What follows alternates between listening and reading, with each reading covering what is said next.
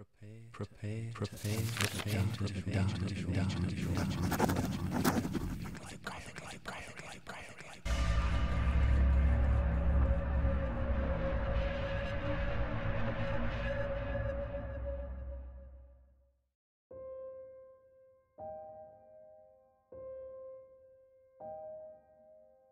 Looking back, I'd say I had a pretty enjoyable childhood.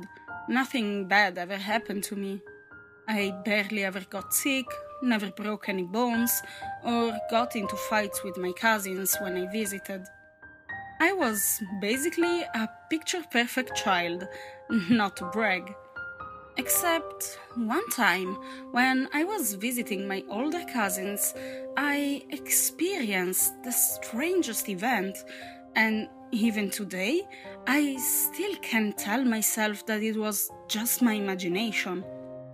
I was probably about six years old at the time, but I still remember everything about that night like it was yesterday. I was climbing trees with my cousins most of the day, and when it got dark, we went inside. My aunt and uncle went out for dinner, so it was just us left in the old house. And then I suggested it. Let's play the hide and seek. Sometimes I wonder how it would have been if I hadn't suggested that. Either way, it was Alex's turn to be it first, since he lost rock, paper, scissors, and Ray and I scattered to find a hiding place. First, I tried squeezing behind the sofa, my favorite hiding spot, but it was closer to the wall than normal. As lanky as I was, I couldn't fit that time. Alex was halfway down counting, so as a last resort, I ran into their bedroom and looked around, trying to find any place to hide, obvious or not. Thankfully, the room was quite messy, so I figured that if I hid under the desk, I would blend in enough. Anything was better than being caught without a hiding spot.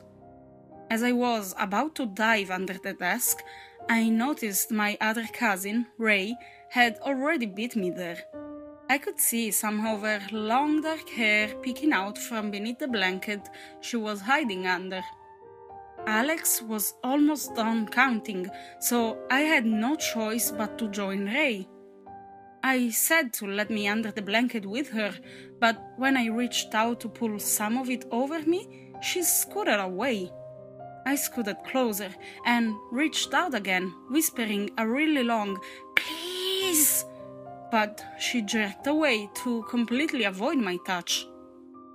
Fine, I thought. I guess that's fair anyway. Since she was here before me, it makes sense for me to be the one to be caught first. I teasingly whispered that I could see her hair anyways, and she rustled around in the blanket trying to cover it not succeeding.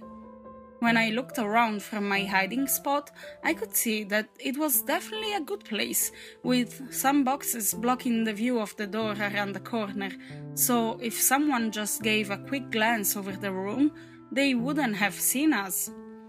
I leaned over and whispered how this was a really good hiding spot. Ray rustled around under the blanket in response. Then Suddenly, I heard Alex walk into the room. He looked around, checking under the bunk beds right across from the desk. I held my breath. He got up and walked to the closet, checking in there before going back out of the room. I let out a quiet sigh of relief and whispered to Ray how close that was. Ray rustled under the blanket again. From outside the room, I heard both Alex and Ray shout the traditional Ollie Ollie oxen free from the other room. So I started to get up, proud of not having lost hide and seek, and said, Come on, to Ray, but she didn't move from under the blanket. That's when I realized that I had heard both of my cousins call for me to come out. I backtracked in my mind to realize that only my two cousins and I were home.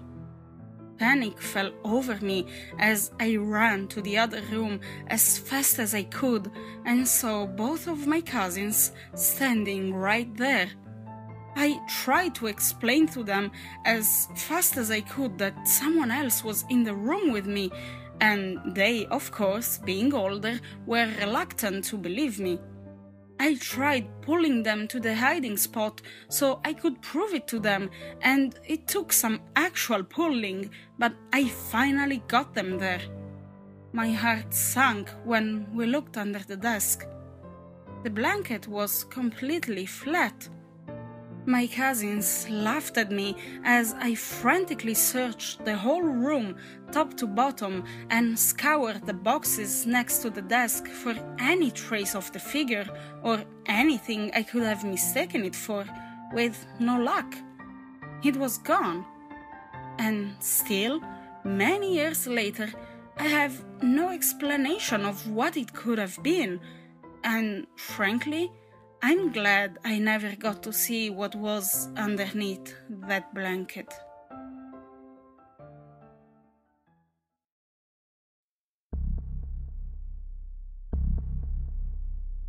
In the summer of 2006, I fell in with an interesting group of friends. They were all obsessed with the paranormal, and it had always been an interest of mine as well.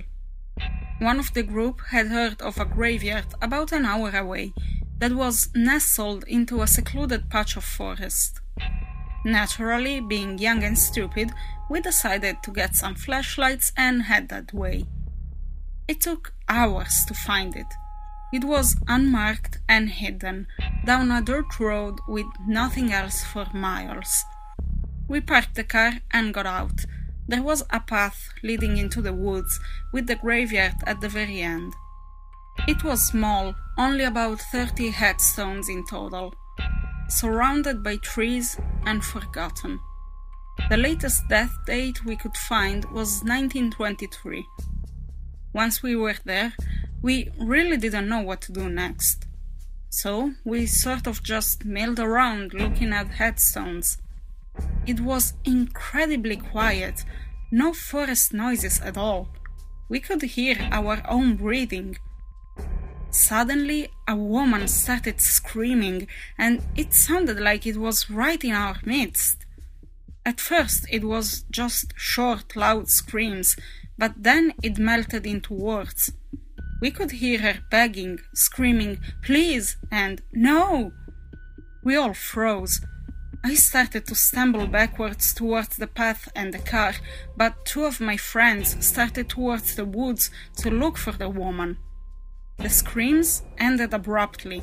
The hair stood up on the back of my neck. My whole body was drenched in fierce sweat. There was a feeling of anticipation, like the static before a lightning storm. Then a gunshot rang out, making all of us scream. We took off running collectively towards the car. We jumped in and slammed the doors, and as we reversed away, the headlights caught a woman stumbling down the path. My friend yelled to stop backing up and leaned out the window, calling to the woman. He started to get out of the car, but she disappeared while we were talking to her. After that, we got the fuck out of there as fast as possible. I'd like to say we never went back and that we learned a lesson. But we went back every other weekend for almost a year. A lot weird things happened, but nothing as visceral as that terrifying first night.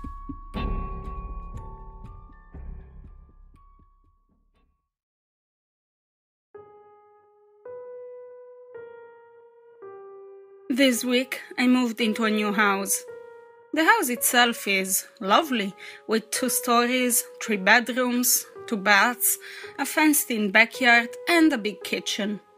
The tree in the front yard is tall and strong and does a fine job of blocking my living room windows from the street. The water pressure is fabulous, the closets are large, and the wood floors are new. The only problem I've had so far is that my neighbors are rather loud. Our houses connect on one side, so we share a living room, bedroom, and kitchen wall. All day long, I can hear them banging around their kitchen, watching loud movies, talking, and a small child crying. It's a bit trying, but nothing I can't live with, I suppose.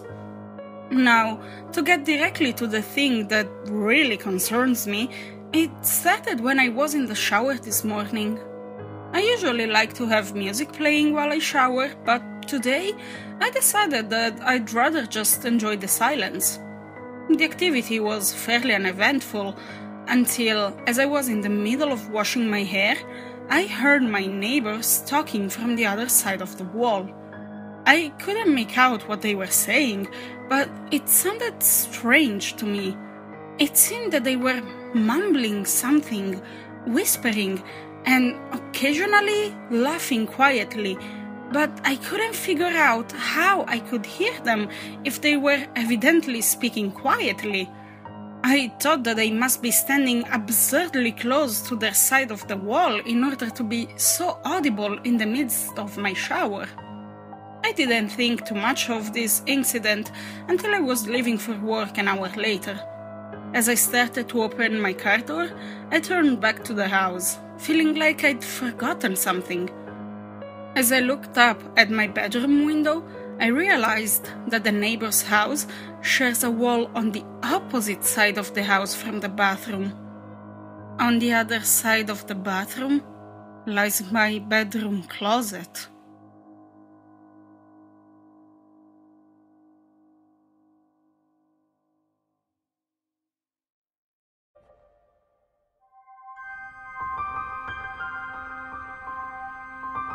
It's in the duskiest books that you may find the best stories.